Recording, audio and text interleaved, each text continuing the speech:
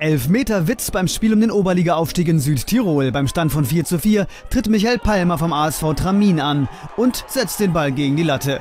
Loris Angeli ist außer sich vor Glück. Der Torwart von Dro Calcio stürmt aus seinem Kasten. Palmer hingegen kann es nicht fassen. Beide bemerken allerdings nicht, dass der Ball noch im Spiel ist und ganz langsam und allmählich doch noch den Weg ins Tor findet.